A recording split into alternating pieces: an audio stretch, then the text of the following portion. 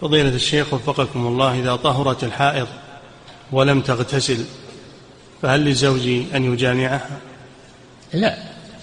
يخالف الآية ولا تقربوهن حتى يطهرن فإذا تطهرن فأتوهن. رتب إتيانهن على شيئين أن ينقطع الدم وأن تغتسل. نعم.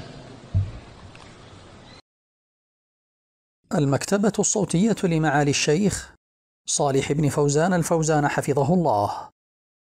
فتاوى شرح كتاب العمدة في الفقه للإمام ابن قدامة المقدسي الحنبلي رحمه الله. مرتبة على أبواب فقهية.